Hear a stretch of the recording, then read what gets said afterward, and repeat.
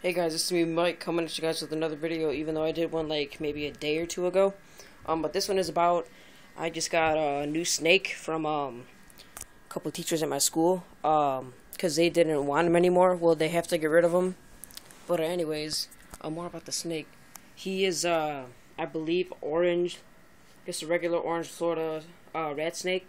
I really like him. Uh, his name is Rex, and um, they had him ever since he was uh, the size of a pencil, so that's pretty small, like as a newborn newborn snake. But uh, yeah, I really like him. He's in total about like three feet. He's a male, and uh, if I haven't said it before, his name is Rex.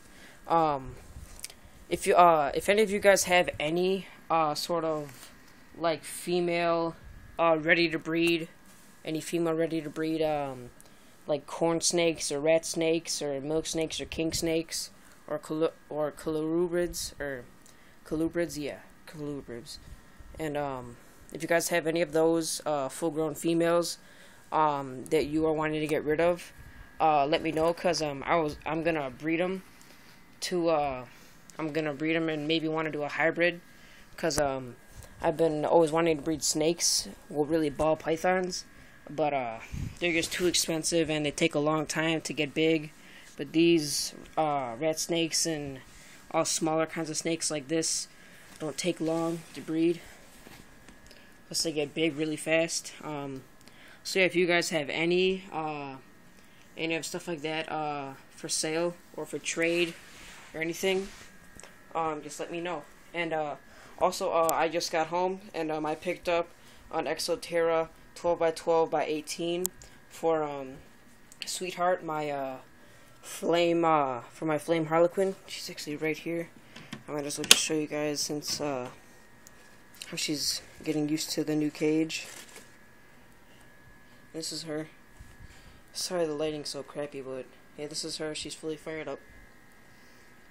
But uh, yeah, this is the cage. I have uh, some Exoterra plants. Got a live plant in there with a bamboo in it. I have uh, some fake, like, four foot plant. Um, then I have, uh, I forgot what the bedding's called. It's like ReptiBark from um, Zoo Med, I think that's what it's called. Yeah, uh, Zoo Med ReptiBark. And uh, yeah, that's what I'm using. But um, yeah, just uh, let me know, guys, um, if you guys have any sort of uh, fully grown female that's. Ooh, he's bitey. This is another reason why the teachers didn't want to get rid of him because he's very bitey. I'll try to get him to bite me to show you guys. I know earlier he was striking at my face. He's in striking position right now. I'm trying to tame him down. Every single person in my class was afraid of him, and uh, supposedly he could sense the fear, and uh, he always bit him, and including the teachers. And I don't know why they still want to keep him. So, and he never bit me once. He's just he's just like no one really ever held him, so that's why he's like that. But um, yeah, this is him. So let me let me know if you guys have any snakes like that uh for sale or trade. Um, so yeah, comment, rate, subscribe. See you guys. Bye.